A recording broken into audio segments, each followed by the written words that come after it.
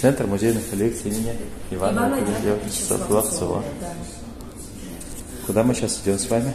Мы сейчас э, идем знакомиться с э, коллекцией э, металла.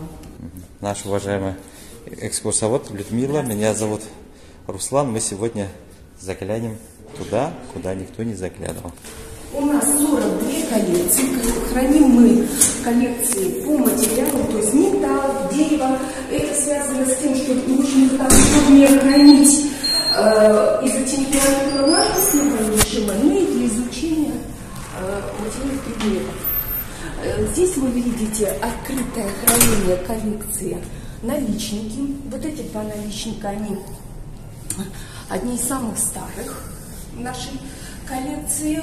Э, К сожалению, мы не знаем, кому принадлежал этот дом, с которого этого, э, эти наличники, но мы точно знаем дату их изготовления. 1854 год. Да, и э, имя Артемий тоже, к сожалению, не знаем, то ли это мастер, который изготовил эти наличники, То ли это купец. или это, или это владелец. Владелец.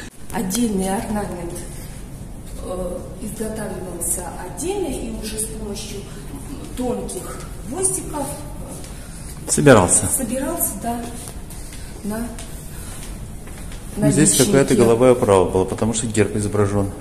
Э, Да, ну посмотрите даже по, по высоте.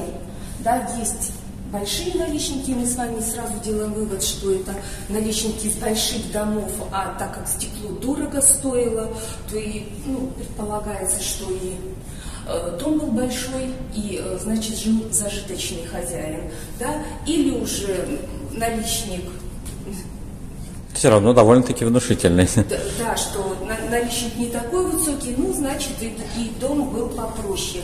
И так как э, каждый хозяин хотел своему дому придать индивидуальность, то, э, да, каждый хозяин заказывал э, наличники для себя, под свой дом, чтобы, э, в общем-то, показать э, свой дом во всей Свой красе. Статус. Да, свой статус. То, и все наличники, вы видите, украшения разные. Да, есть какие-то элементы, которые повторяются, но э, по желанию э, хозяина мастер изготавливал наличники О, огромно. только для его дома. Все они ручная работа в единственном Да, экземпляре. Да, да. То есть изготовление на- наличников было дороже, чем изготовление самого дома.